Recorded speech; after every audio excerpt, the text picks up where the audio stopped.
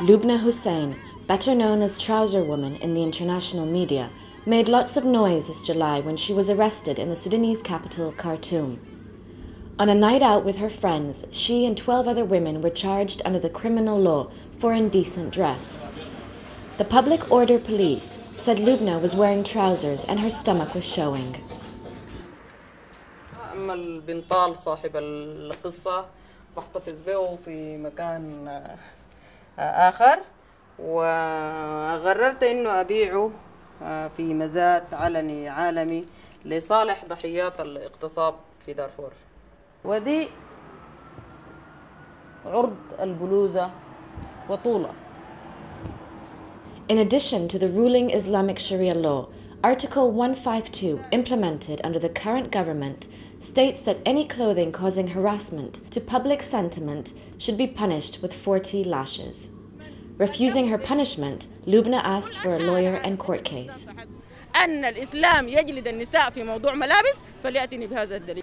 Not wanting the bad press, the government released and spared her the lashes.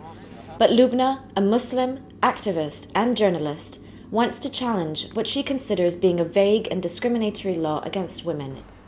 دي عشر جلدات دي أربعين جلدة دي الجلد السجن الوقت الذي يعني أي سلطة تفرض مفاهيمها العقيمة أو أعتقد أنه انتهى إذا قال أنه ديني فاستند عليه إذا قال أنه أخلاقي عليه وهكذا Lubna believes this article does not adhere to Islam nor the Sharia law. Instead, it gives power to the authorities to harass women as they like. But is her opinion shared by other Sudanese women? I went to find Mihera, a young Sudanese fashion designer, to find out more. Hey. Recently graduated from the College of Drama and Music in Khartoum, Mihera is now trying to change fashion consciousness in Sudan with her designs. دي عباية عملتها من التوب شنطة تعملها من الجنس Short boyish hair and jeans, I asked if she would go out in the street like that. إنه أنا مسلمة لازم ألبس الطرحة برا في الشارع. يعني في ناس ما يلبسوها لكن أنا لازم لأني مسلمة. بلف طرحة وأمشي بيها. إذا في شمس بلبس معاه نظارة.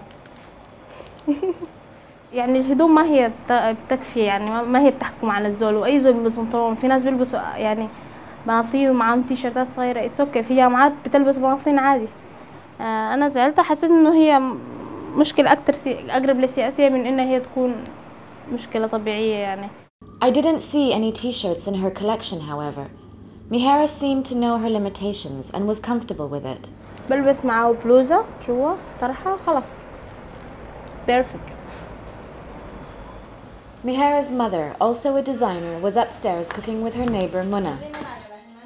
She great woman also and she also design clothes A house full of designers. I asked them about Lubna and was surprised to see they knew little about her.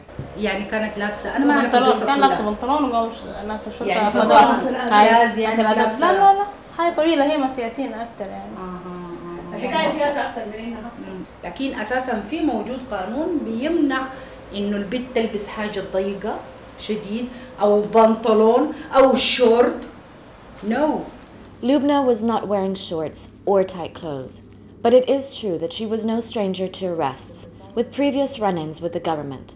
Student revolutionary, human rights activist, and widow to a famous journalist, she was under their watchful eye. هي دي بس المشكله هنا في لما يبقى في زول عنده مشكله آه، في السياسه بيراقبوه بيبقى في سوبرفايز شديد بيكونوا بس مستنيين انه يغلط غلطه شب يمسكوه Even if Lubna's case was political, the question still remains was she able to raise awareness around women's rights and change opinions?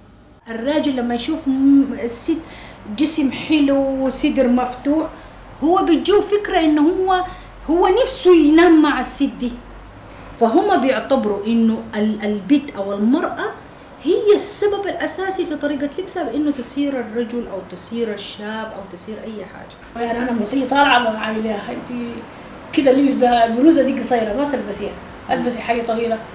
ما أنت حر تلبس زي ما داير. لازم تلبس الحاجة اللي بتريح الناس في الشارع. لا وقبل ما أنا أريح الناس أنا لازم يعني ربنا حيحاسبني. أنا ما يهمني الناس أنا يهمني ربنا في الأول. It is clear that the dress code is innate in the customs and religion. The law seems irrelevant, but not for Lubna and the other women who have been jailed. The vagueness of the law means that what is considered appropriate varies from case to case and is subjective to the police officer. Should the state have the right to punish you by flogging if the man deems your clothes to be harassing public sentiment? Most women will avoid putting themselves in that position. Stay clear of politics, dress appropriately, and you should be fine.